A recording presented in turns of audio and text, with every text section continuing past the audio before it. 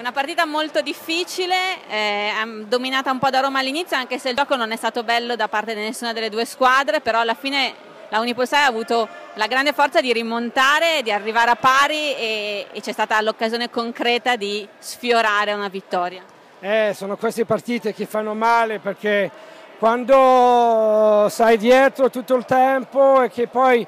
verso la fine riesci a andare avanti fa male per così, bastava, bastava solamente di fare, di fare, un fallo alla fine per fermare il loro gioco e non siamo riusciti a farlo,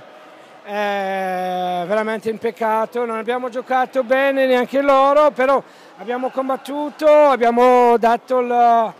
direi tutto quello che era al momento sapendo che la pressione era alta, prima partita la Coppa Campione,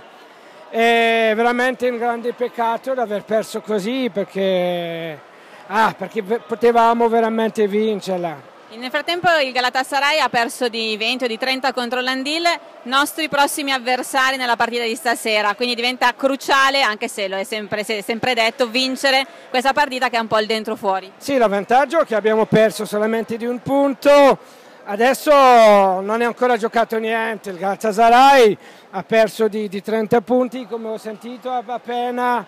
A noi di vedere come sicuramente il Landila ha avuto una partita più facile che la nostra e vediamo adesso se siamo in grado di poter dare parole alla, alle campioni tedeschi e magari perché no a vincerli, poi, poi vediamo.